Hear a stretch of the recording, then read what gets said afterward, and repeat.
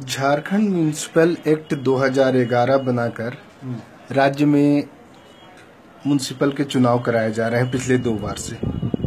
क्या पांचवी अनुसूची इलाके में चुनाव कराने के लिए अलग से कानून बनाने की अनिवार्यता है? या फिर जो चुनाव हो रहा है, इसके लिए क्या कानून बनाया गया है? अगर नहीं तो क्या चुनाव संवैधानिक है या असंवैधानिक?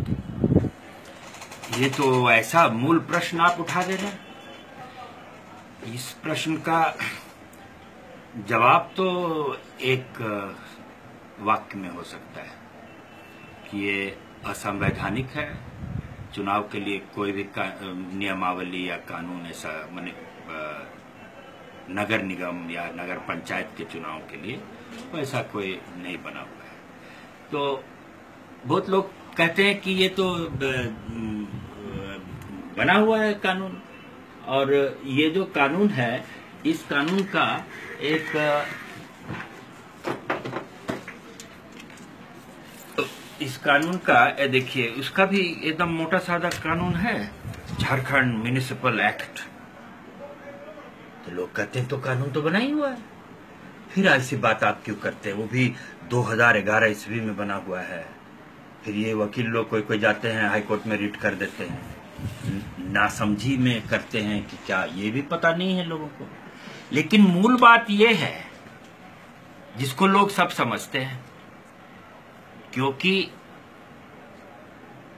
झारखंड पंचायत राज अधिनियम, उसी को लेके लोग सोचते हैं कि झारखंड पंचायत राज अधिनियम में जो पैसा पैसा पैसा क्या है भाई? बहुत लोग बोलने लगे कि पैसा ही कहाँ से आ गया जब पंचायत चुनाव की बात हुई। झारखंड जब बना 2000 में तो पंचायत चुनाव की बात हुई।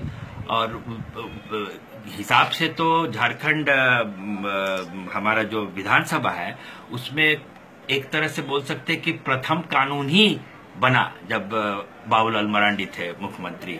उसी में बना ये आपको झारखंड पंचायत राज अधिनियम 2001 देखिए, प्रथम है। 2001 का है। देखिए बहुत, हम 2001 का और 2001 में ये लगा कि लोग कर दिए केस, बोले कि भैया, ये तो अध्यक्ष, ये पैसा क्या है? पैसा के हिसाब से तो अनुसूचित क्षेत्र, ये अनुसूचित क्षेत्र क्या है? अरे, पांचवी अनुसूची क्या है? बताइए। संविधान में ये पांचवी अनुसूची 1950 से लिखा हुआ है और बड़े बड़े अफसर पढ़े लिखे लोग यहाँ पे हैं, फिर भी वो पूछ रहे हैं कि पांचवी अनुसूची क्या है? तो उसी पांचवी अनुसूची की बात में लोग पंचायत वाली बात को आगे बढ़ाते हुए पंचायत का चुनाव को 14 साल तक देर करा दिए और सुप्रीम कोर्ट से वापस आया। कानून उन्नीस सौ छियानबे में पेशा बनी है और वो 14 साल तक लटक के सुप्रीम कोर्ट से आया, तब पंचायत का चुनाव हुआ। और पंचायत चुनाव हुआ तो लोग सोचे, ये पैसा का भूत खत्म हो गया अब। अब पांचवी अनुसूची भी उधर ही है, गाँव देहात तरफ़। बाकी जगह तो है नहीं। ये भी हमको कभी समझ में नहीं आया कि इतने एडवोकेट जनरल और जस्टिस लोग या हमारे इतने मुंसिफ मजिस्ट्रेट डीसी कमिश्नर ये सब लोग, पता नहीं ये क्यों इस तरह की बात बोल दिए। लेकिन 2011 में ही म्यूनिसिपल कानून बना। कब?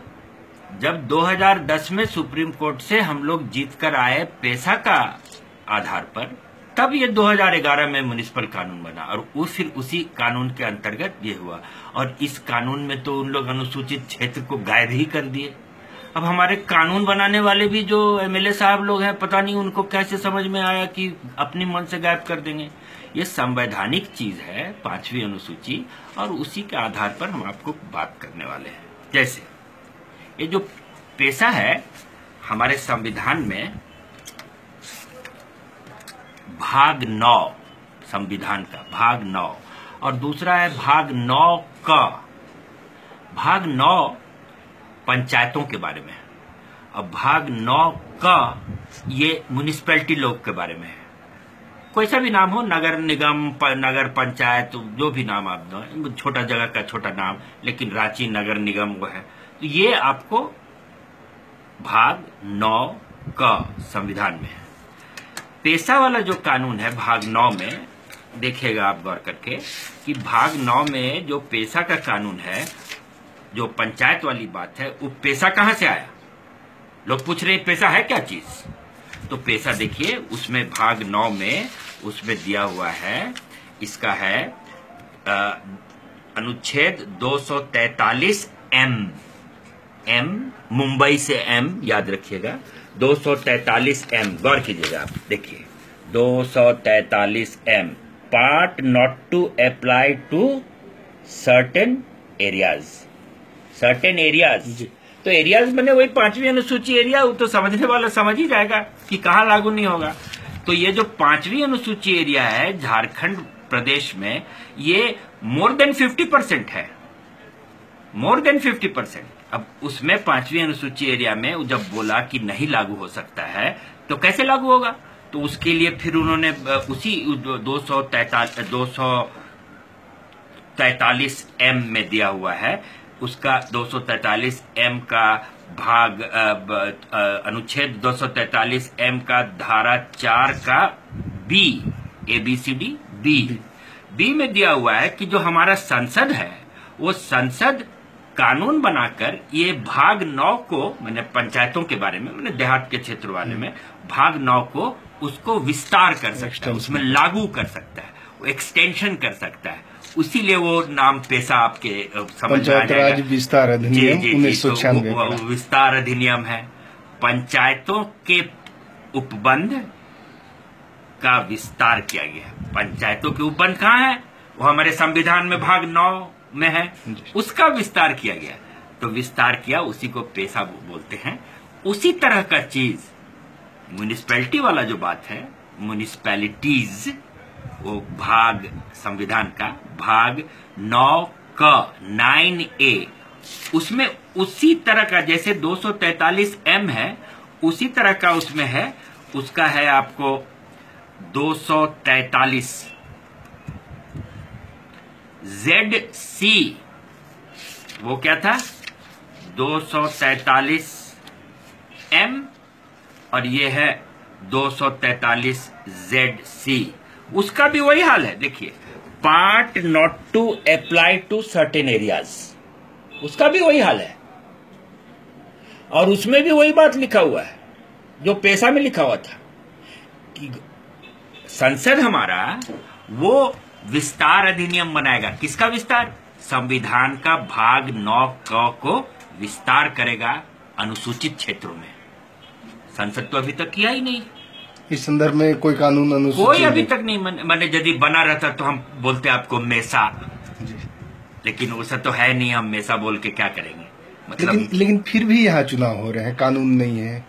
अब आप समझिए ना 2011 में ये झारखंड म्यूनिसिपल एक्ट 2011 में बनाया इन लोग। तो ये इतना दिन क्या कर रहे थे? या तो मेसा बनाते या उनको विचार ही नहीं था उनका कि अच्छा सो जाते हैं। सारा यहाँ का जो जनता जनार्दन है, झारखंड का जो झारखंडी लोग हैं, उन लोग का एकदम सुप्त अवस्था में हो जाएँगे, तब फिर हम काम करेंगे। क्या काम करेंगे? जिस तरह से ग्रामीण क्षेत्रों में इतने सालों से 1947 से दामोदर वैली कॉरपोरेशन का जो इतना बाँध है, उसका जो ज़मीन का अधिग्रहण और बाँध बनाना, वो सब तो बहुत लंबी कहानी है। नहीं, हम यहीं पे रुकते हैं आपको कि जो चुनाव हो रहे हैं चुनाव के साथ साथ नगर पालिका बना हुआ है जिला परिषद बना हुआ है। वहाँ पे काम हो रहा है अब मतलब कि चुने जा रहे हैं जनप्रतिनिधि। और बहुत सारे संसाधनों और डेवलपमेंट का काम कर रहे हैं लोग। तो किस आधार पे ये पिछले दो टर्म से कर रहे हैं? इसका तो संवैधानिक औचित्य नहीं है। एक शब्द है बेईमानी। यदि संविधान का हम जानबूझकर विरोध करते हैं या जानबूझकर उसके विरोध में काम करते हैं, कानून तोड़कर। तो बेमानी ही तो बोलेंगे। चोरी तो नहीं बोल सकते हैं, क्योंकि मैं खुद कानून वाला आदमी हूँ। बेमानी ही बोल सकते हैं। इनको तो करना ही नहीं चाहिए था। इसमें जितना फाइनेंशियल डीलिंग हो रहा है अनुसूचित क्षेत्र, जैसे रांची नगर निगम जमशेदपुर तो है नहीं वो उसका तो अलग से है जुगसलाई और क्या क्या अलग से है। आदित्यपुर। आदित्यपुर ये सब अलग से है। और आपको धनबाद तो बेचारा बच गया क्योंकि वो तो अनुसूचित क्षेत्र में नहीं है। हजारीबाग बच गया वो तो अनुसूचित क्षेत्र में नहीं है। लेकिन अनुसूचित क्षेत्र में जितने ये जो नगर निगम या नगर पंचायत या नगर परिषद जो भी नाम से आप बनाए वो सारे के सारे गैर संवैधानिक और उनमें जितना काम हो रहा है, वो गैर कानूनी है।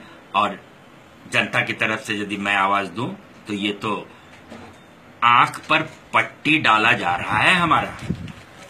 और क्यों डाला जा रहा है? क्योंकि 21वीं शताब्दी में जो हमारा अर्बनाइजेशन का विकास होने वाला है। 60 percent of the population population का हमारे जनसंख्या का 60 प्रतिशत आदमी शहरों में रहने वाला है 21वीं शताब्दी में। उससे भी हमें दूर किया, वंचित किया जा रहा है। यही आँख पे पट्टी डाल के। और म्यूनिसपैलिटी पंचायत वाला में तो विस्थापन और क्या क्या और बाँध और खदान और